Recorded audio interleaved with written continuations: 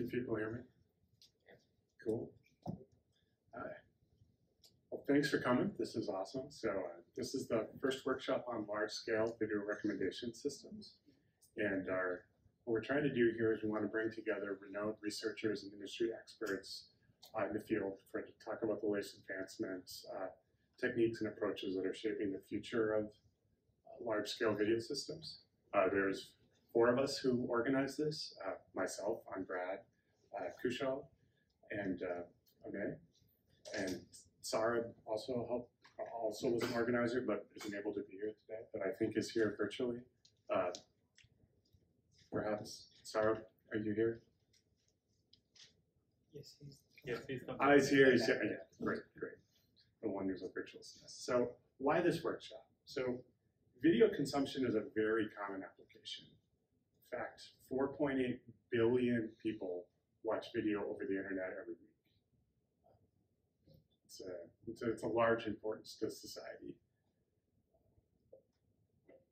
Uh, there are some challenges in video recommendation system that are somewhat unique to the domain. Uh, one of the largest is content understanding involves many time invariant modalities. For example, audio, visual, object detection, motion, story, uh, narrative. There's all this this understanding of the content that is not the same in like every recommendation domain. Uh, another key challenge to the video recommendation problem is that users often desire novelty. For example, it's pretty rare for someone to watch the same piece of content 10 plus times. Whereas, for example, someone could order the same food staple, for example, carrots, repeatedly. Um, and another big part, characteristic of this domain is that content is often new, sometimes at a large scale. This is partly due to the fact that the users desire or consumers of internet of video often desire new content, so people are often making new content. But particularly with the proliferation of cell phones and cameras on that, it's very cheap to create video content now, uh, and so there's there's a lot of it, and so content cold start problems are often important at scale. So, what are we trying to achieve in this workshop? So, three things mostly. One is we'd like to exchange knowledge. Uh, it's RecSys is a great uh, uh, um, event altogether. This is one of the highlights of it. And the second is we want to highlight interesting problems and solutions in the video recommendation space. And we want to foster discussions. And I'm very glad to see I have so many people in the room, and you know, we have many more on the on the call. And so, you know, a lot of this is is like this is for you, the community, right? And so this is hopefully we can encourage discussions and do even better here. So, I want to talk through some. We have a pretty excited about our our speakers and invited talks. So, our uh, Lukasz Heldt is our going to give our keynote in a couple minutes, and on YouTube Discovery Evolution and uh, Lukasz is a principal engineer at YouTube Discovery, working on uh, improving YouTube's recommendations for over eight years.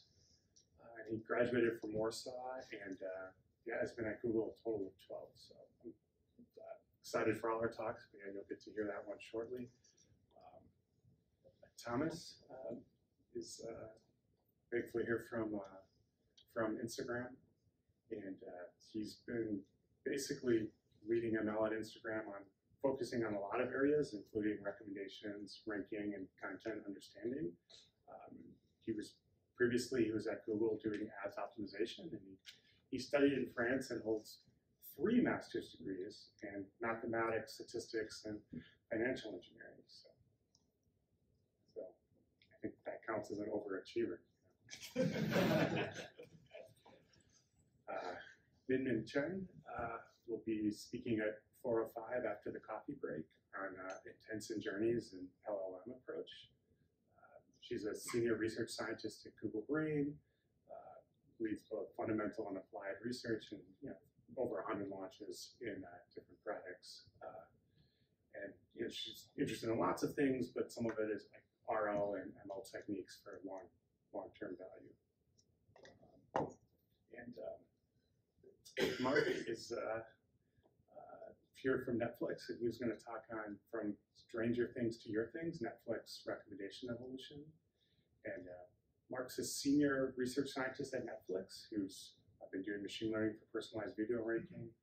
Uh, previously, he was at What's WhisperText, and uh, he's obtained a PhD and dual MS degrees uh, from the University of Michigan. And, uh, I'm from Wisconsin, so no one's perfect, but I'm still glad you're here. and uh, Quinn Quinn Pinka is will be uh, speaking at 5:05 on reinforcement learning for short video recommender systems, and uh, he's a staff engineer at uh, Kuaishou, uh, where he leads the reinforcement learning uh, for recommendations group. Uh, he's a member of the CCF multi-agent group. Uh, previously, he was at Alibaba, and he received his PhD from the Institute of Interdisciplinary Information Sciences, uh, just headed by Andrew. Yeah. So the format for the invited talks, they'll be 25 minutes long uh, with a five minute uh, question period, uh, facilitated by our wonderful student volunteers. So thank you very much. And uh, we'll take questions both from Zoom call or in person. And uh, yeah, so hopefully, and we'll do this, we'll have a coffee break from about 3.20 to 4 o'clock. So, and with that, I will, uh, uh, I will. So you just had an intro, but I get to introduce him again. So uh, Lukasz will, uh, uh, he's been at Google for 11 years, eight of them focusing on recommendation systems. Uh, as an expert on the entire stack, uh, and is I'm very excited for this talk because he's going to talk through YouTube discovery evolution. Uh, I said before, he attended uh, University of Warsaw, and uh, he likes to climb. So if there's any climbers afterwards, you can uh, hit him up for that as well. So thank you.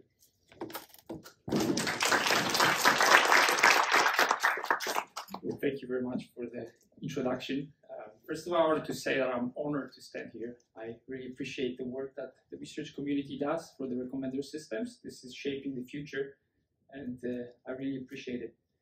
Um, so I've been working on this stuff for eight years. I had some general observations that I wanted to share today, and just it's not anything specific, but just enough to share my general observations in this area. Um, so first, I want to talk about scale. I think it's it's something that the LLM community really talks about a lot. The bigger, the better. You know, they compare sizes and so like trying to understand how this impacts the the quality of the output. Um, and I think it's good to talk about it in the in, in the context of recommendations as well. Um, so I basically want to give you this timeline. I joined uh, YouTube Discovery in 2015. We at the time we had a linear model. It was uh, maybe not like a typical linear model. How you think about small models? It was like a probably like had billions of dimensions, but it was extremely sparse. So for every request, we would retrieve just a handful of, of these weights, combine them into a prediction, and then serve it to our users. It was very efficient. Pretty much at, at runtime, we would just basically do a hash map lookup for maybe 100 features or something like that, and then get the output of the model. It was very hard to work with because every single feature had to be manually engineered, feature crosses had to be manually engineered. So a lot of work just went into feature engineering work. Uh, they weren't very robust either, so had a lot of outliers and, and sort of um, didn't work. I mean, at the time it was state of the art, but I guess nowadays we would think that it was uh, you know like playing with toys. Um, in 2016, that was the first year we introduced the deep learning model, uh, the deep model. Uh, I think we've copied the success of the ImageNet. Uh, people realized that deep model is, is the thing. Um, and it did actually make a big difference. Uh, we stopped doing feature engineering as much, started focusing on the architecture of the model. Um, and over the years, these models just got bigger. So 2019, we published a paper about multitask ranking. Uh, if you're interested, please read about it. Uh, so the model got bigger. Uh, nowadays, uh, the, the model is even bigger. Uh, it doesn't really matter how many parameters it has. It's just you can think of it as, as pretty much much much larger than what we used to have. Uh, so it got so big that we started having problems with training stability. So another paper that was published this year is, is about how to actually make these models a little bit more stable when we train them. Uh, the interesting challenge that we face in, in YouTube is that our corpus keeps changing very rapidly. So every day the distribution of our data is kind of different from yesterday, and, and that difference is really large. And, and these systems have to train continuously, so that's why that instability came in. But I think so. I, I, just show you this picture. You know, models get bigger, but how do we kind of quantify it? How do we touch it? Say, you know, this is better. The 2023 model is better than the 2019 model. Um, so I like to think of it as different animals. You know, when, when I go to the when I think about animals, I think you know maybe a gecko. It has around one million neurons in their brain. There's a mouse, 10 million neurons in their brain, and an owl, 100 million. And you can kind of tell that they have different skills, right? Like a mouse is going to be a little bit like it has more skills than a gecko, right? And an owl probably even more skills than than a mouse, uh, which is which feels obvious to us when we look at it. But then I think we have some kind of a marketing problem with recommendations because when I think about these brains now, okay, so this one gives me a PCTR of 0.321, another one 0.29 and 302, which is pretty much meaningless, right? We can't really tell how much better is the, the big model versus the medium model versus the small model. Of course, we look at AUC, AUC metrics or maybe some offline loss metrics, but it's really hard to touch it, kind of like people do with LLMs, where they, you know, they look at the output, it's just impressive, right? or, or some generative models, like you can look at the image, it's very impressive. So I, I think there is a problem in general recommendation community that we don't have these aha moments uh, that we can share with people. Uh, but let's, you know, let's at least give it a try. So I, I look back in 2015 trying to find some watch next panels uh, with, with some errors that the system used to make. And just to compare it to today, 2023, uh, first of all, you can see that the UI hasn't changed that much. I mean, maybe we should complain to our UI designers. Uh, but the, but the interesting thing is that in, in this 2015 panel, you can see that there's some, so we have the watch video, the uh, GT350 car. Um, in 2015, you can see that some videos are about cars as well, and there's these two outlier videos.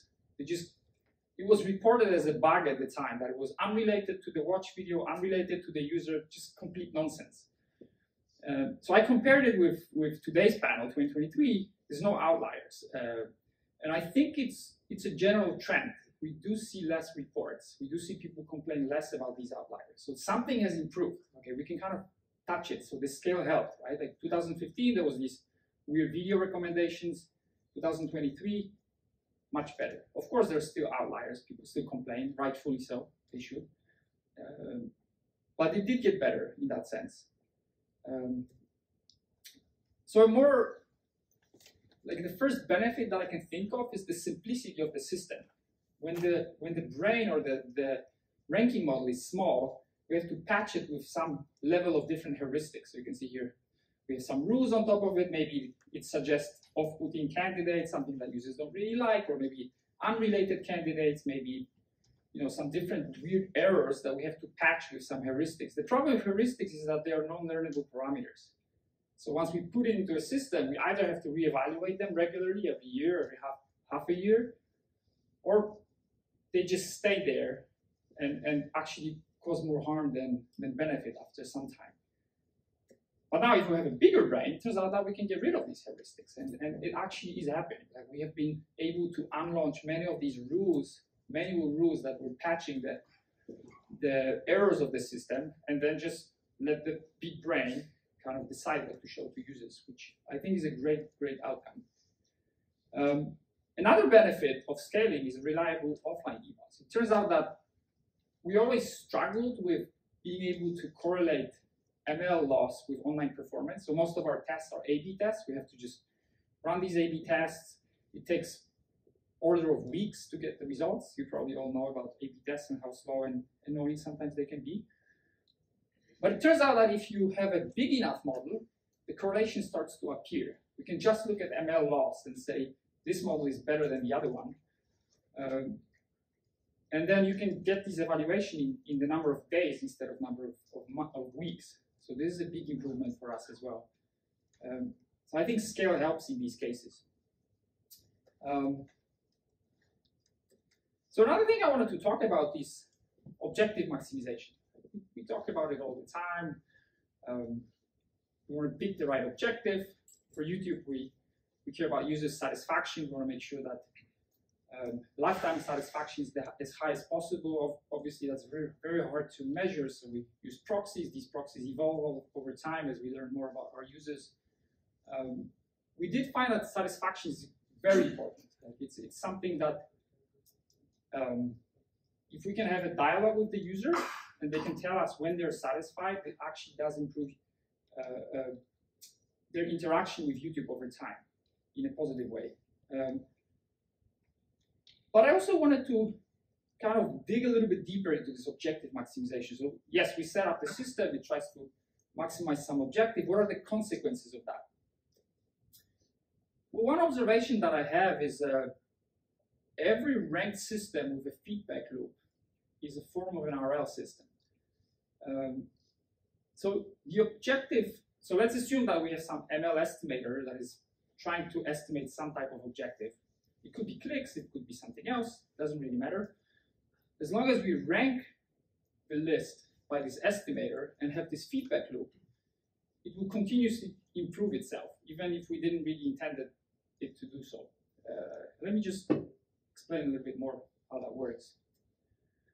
Um, so let's assume we have two classes of videos, the blue curve and the, the orange curve. Um, so let's assume that the blue is representing head, maybe the orange is representing tail, or it could be fresh versus old, or familiar versus unfamiliar, just different type of predictions.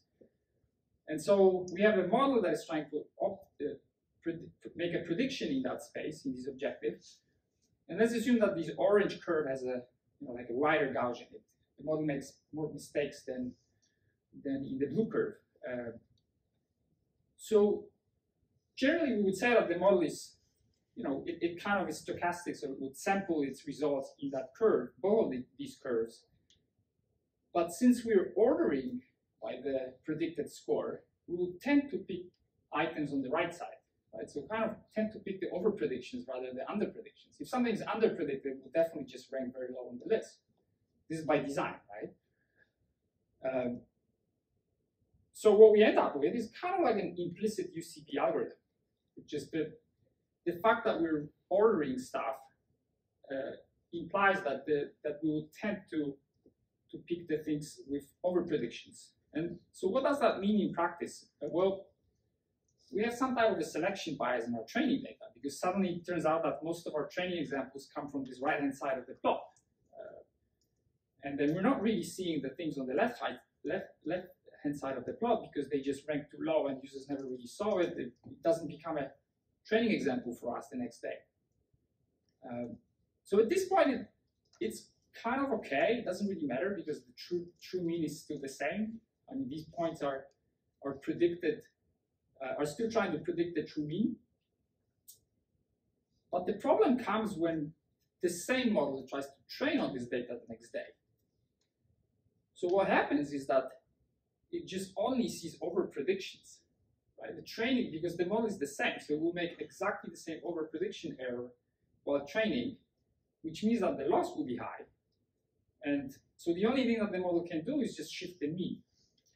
Right? So maybe I can show this graphic again. So basically what happens is we selected our training data while serving to users. The next day the model trains on it, shifted mean. Uh, so we now we have less training examples. Uh, and then something has changed. We didn't anticipate it, right? We ran a lot A-B tests. It looked good. But something under the cover has shifted. And, and this is something that is not really easy to measure with A-B tests. Um, just to keep in mind that the choice of objective is really, really important because even if you're not looking at the system, the system is continuously optimizing for that objective.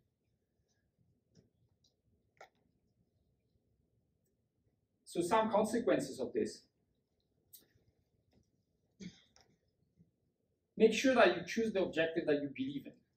Because if you're not believing your own objective, then probably you're not, your system will be doing something that you're not really wanting it to do. One thing that I really appreciate about YouTube is that we've been completely disjoint from the ads optimization, which is really nice because then we don't have to worry about it too much. Uh, we don't have to worry about this, these things changing under the cover, how the monetization in, impacts users. So basically, the discovery system is purely based on the user satisfaction, and, and we optimize only for that. Um, another consequence is that the higher the variance, the bigger the penalty that this model will, will, will see in the in practice. So reducing the variance is really important. That's maybe coming back to that scale. Why did we see these outliers in the beginning, right? Because the variance was high. The model wasn't able to feed the data correctly. If we have bigger models, variance shrinks, and it's, it's good because then this effect is also smaller. We have less of these shifts that are happening under the cover. Um, other thing is that spontaneous exploration is not sufficient. Basically, this implicit UCB that I have shown to you, it still causes this problem that most of the training examples are going to be over predictions. So the, the model will play a whack-a-mole game, trying to just penalize all these over predictions at training time, and then it will shift the mean, causing the you know like some unintended consequences. So we just we decided to invest in intentful data acquisition, which is this slot fixed slot exploration uh, idea.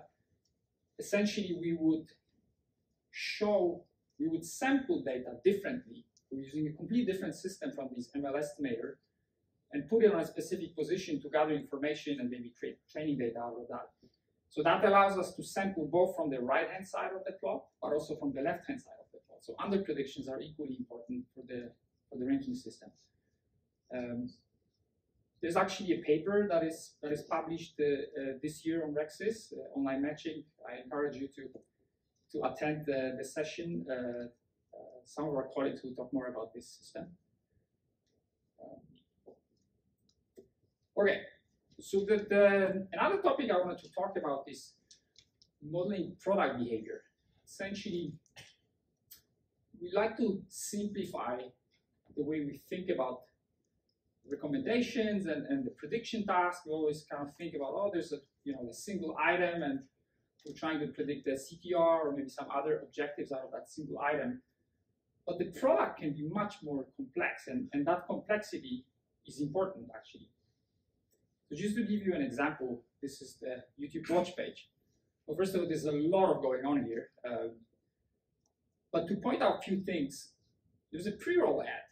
How is that affecting the watching behavior? Maybe, you know, if there's a pre-roll ad, the user is more likely to abandon the video, or maybe less likely to abandon the video. It's, it's hard to say, right? But there's something happening. So we, we can't just ignore the fact that the ad was, was running. Uh, on the feed, we see some feed ads. Also, they push down the RECs. Maybe this, is, this has some effect. So uh, maybe the fact that the recommendation didn't get a click was not really because it was bad, but it was just pushed down by another element in the UI. Uh, another interesting thing that we've noticed is that if we show recommendations which are too appealing, then they will actually lead to, to user abandoning the watch page itself because they, they look at this very interesting thumbnail. Oh, why don't I click on that one instead of you know spending time watching this video? Which is a kind of an interesting problem because we do affect how users enjoy their videos, and, and we have to take this into account. Uh, and also, there's just many competing racks which can steal clicks from each other, which also cannot be really ignored. So a, a very simple way of addressing this problem is, is called positional bias. So we could just say, let's look at the position that the item was displayed on, and then we would create a kind of like a UI logic that is added to the logic of the CTR prediction, and that offsets our expectations about the, the, click, the clicks that we should get from that item. So the lower the item, and, and maybe we could also contextualize it based on the UI and the device type, like whether it's mobile, desktop, um, we would have different expectations on the click. And that is actually, that, that was a pretty big win for us when we did that, because the model was able to fit the true intention of the user better. So it wasn't about the placement of the item, but rather the connection between the user and the item that was that was more important. So then we can precisely model the loss that should go into the parameters of the model with this offsetting of the of the UI. Um, but the interesting thing is that this can be done even more precisely if you think about it a little bit more. It turns out that you can model this user behavior in a more precise way, assuming that there's some user browsing model that is happening under the cover. So let's say that, the, that we assume the user always starts at the top of the feed, and then they, they just continue scrolling their eyes down, down the feed. And every time they have these three options, they can either abandon the feed altogether, they can click an item, or they can scroll down, which means that they just their eyes go go down. And in this sense, it is still a positional bias, but it's much more precise because the the chances of us getting a click on position three, you know, you can clearly see that they're they're diminishing because the user could click on all these items above, they could actually abandon as well. Um, so it's implicitly capturing this positional bias, but in a much more precise way. There's a difference between seeing a recommendation above that has a very high chance of clicking and difference when the recommendation above is, has low chance of clicking.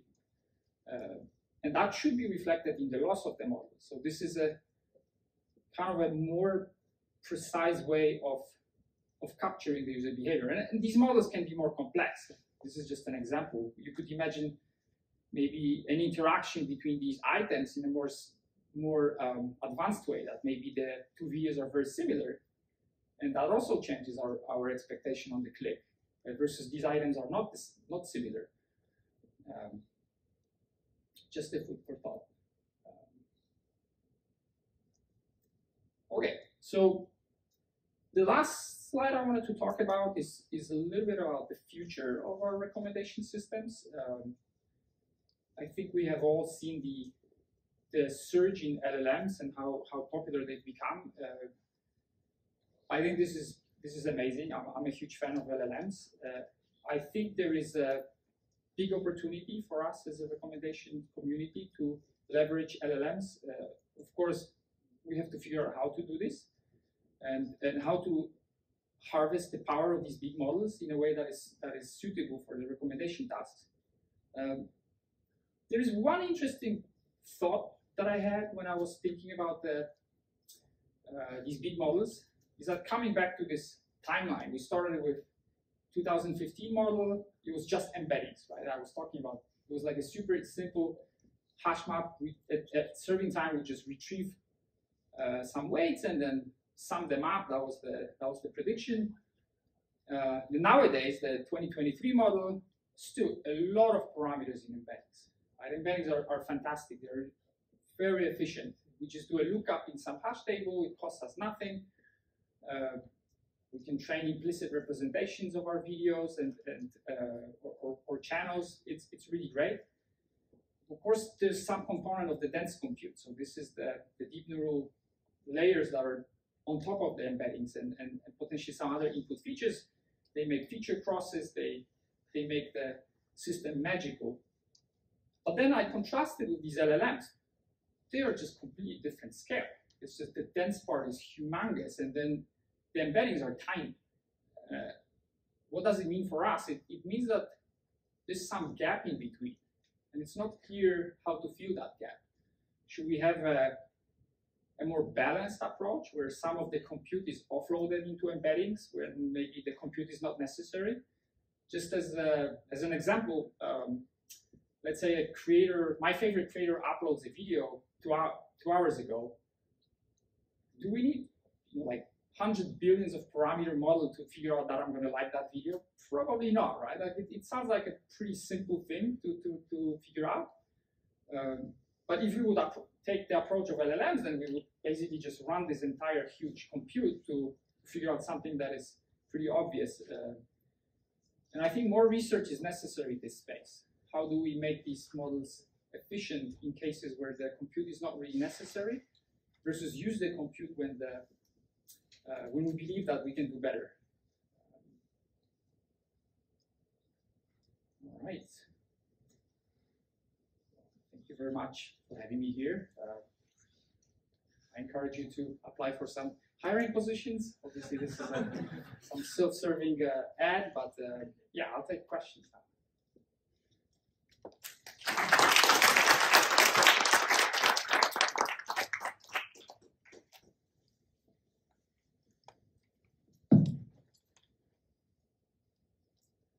Any questions?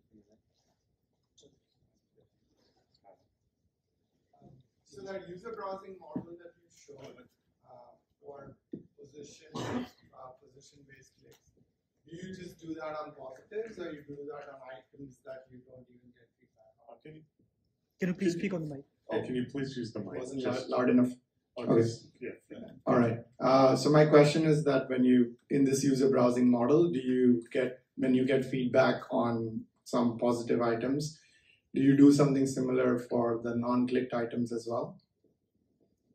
Well, it, it models both clicked and non-clicked items because the outcome can be no click, as you can see on the left-hand side. Uh, so it, it, yeah, it trains on all possible um, scenarios. Oh, cool. Thanks.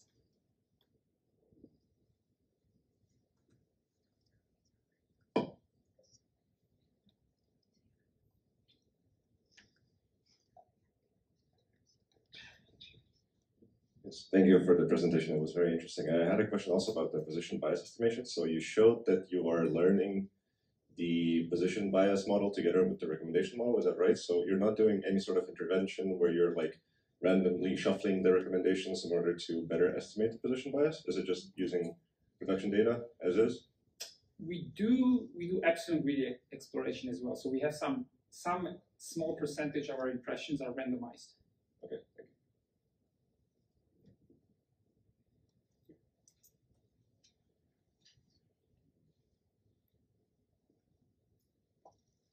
Thanks, Lukasz. And uh, a follow-up question about the user modeling, sequence modeling. It look like the modeling needs the previous item CTR or other scoring function probably to be estimated. In that case, that's the it's different from traditional serving, which each item is uh, scored individually, and right now it needs a context. How does this affect the serving and complexity in the model itself?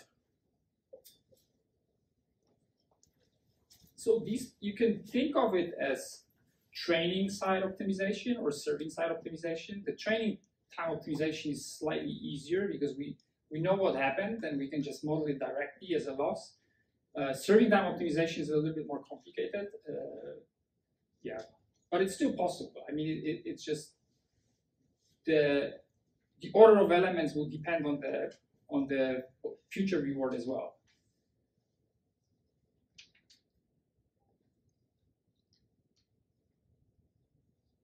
So just to um, reiterate, there's a difference between fitting what happened versus trying to maximize what will happen in the future. And, and maybe this slide is only showing how to fit what happened in the past. Oh yeah, thanks again for for the talk. So yeah, my question is actually I'm interested in the journey from 2015 to 2023.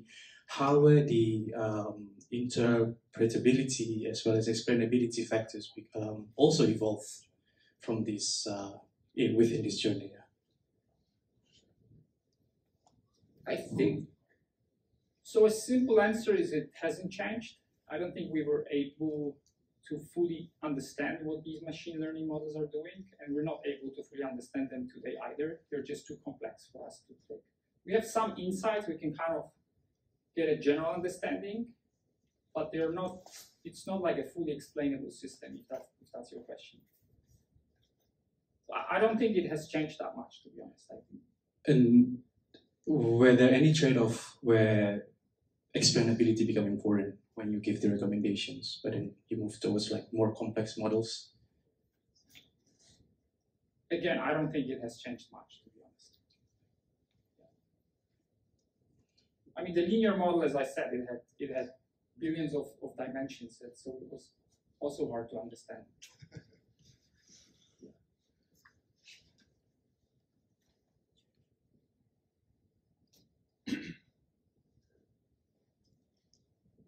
Thanks for the talk. Um, I want to question about cold start problem for the items. Um, how do you make it? Is it uh, made by your big model, or you starting to show some items for users to collect some statistics or something? It's a combination of both. So we would obviously we would nominate new candidates to the big model to try to rank them together with all the rest of the items. But we will also have a separate system that is a completely separate stack to do explicit item exploration. Uh, so that's something that will be in that is in a published paper. Um, so that more explicit system overcomes all the biases of the big system or the B ranker because we can collect unbiased data in that way.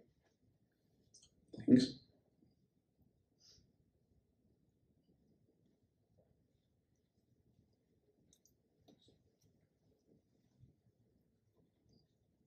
Thanks for the talk, and uh, I'm very interested in the, about an uh, LLM topic. So people all over the world are talking about ChatGPT and LLM, and uh, in the recommender system community, uh, do you think it is a promising research direction to develop LLM enhanced recommender system? But in my opinion, uh, um, uh, at this stage, I think it's quite, you know, uh, at a the cost of uh, high uh, inference cost and high training latency and uh, s- some disadvantages. But uh, at YouTube, uh, very popular video recommender system, uh, you any have you any plan or uh, uh, could you share any experience about this topic uh, for the RS uh, community?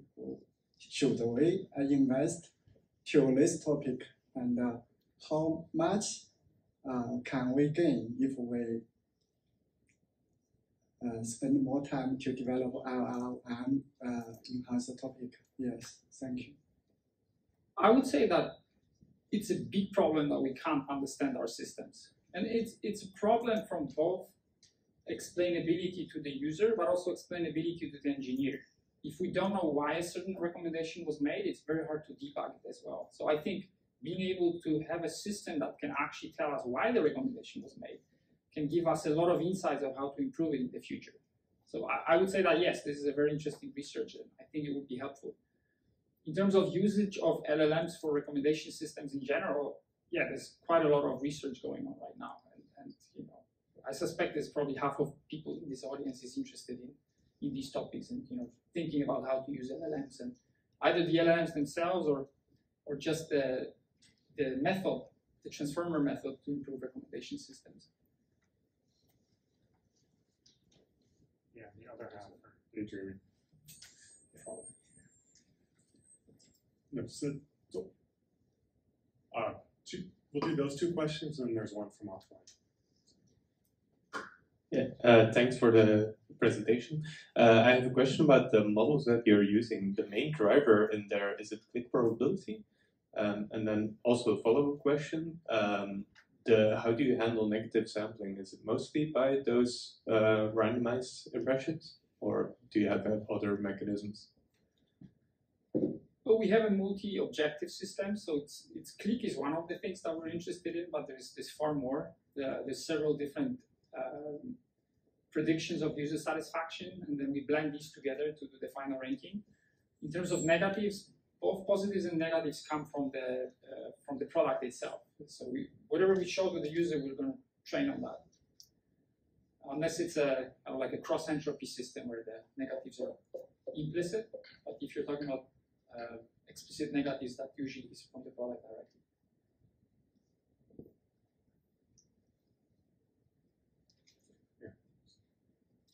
Uh, yeah, so thanks for the talk and I'm kind of interested about the number two, the higher variance leads to higher penalty. So you said you, use UCB for ranking the problems. And then in the UCB equation, so we have some hyperparameter that trade off between the mean and the variance. So why don't you tune them just for reduce the variance? I was saying it's an implicit UCB. We're not controlling it because it just happens from the, the estimation error. We don't know what the estimation error is exactly. We can kind of, we can maybe try to estimate it, but we would still not know if it's over or underestimation, even if we knew what the estimation error could be. I think it's just the consequence of the ranking by the score itself that causes this. So even if you're not thinking about UCB, your system will do UCB just because you're, the, the ordering causes that. Oh, yeah, I see. Thanks. So, so two questions from offline. One is, um, why do offline evaluation results become more reliable as the model gets larger? It's a great question. I don't know if I know the exact answer to it. That's something that we've observed. Uh, I can speculate. I don't know if it's useful if I speculate or not. Uh, It's very useful. very useful. I love speculating, so we can spend another hour. I think uh, sometimes it, the system can show gains, not because it's more precise, but just because maybe it introduces more diversity, for example. And then you can look at A-B tests, and yeah, this looks better, even though the system was actually worse in its ML loss.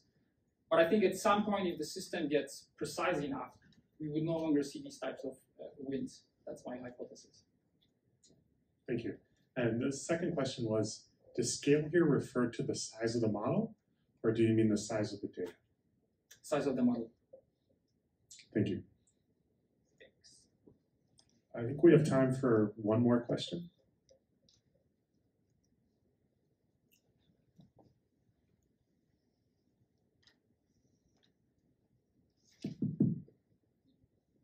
Thank you for the presentation. Um, I was curious in the beginning, you mentioned that uh, you, like the fast moving catalog of YouTube results in kind of the model being unreliable. What do you think are the unique challenges of having a catalog that's uh, that's fast moving, and uh, what do you think are the important things to keep in mind when building models specifically for uh, fast moving catalogs? I think what happens is that the bigger the model, the more precisely it models the distribution. And if the distribution that it models is from today, it might not necessarily be applicable to tomorrow's distribution. So when the training data comes, it, it kind of it can get easily confused. So that's why it, it, it, it, can, it can lead to some instability of the training itself.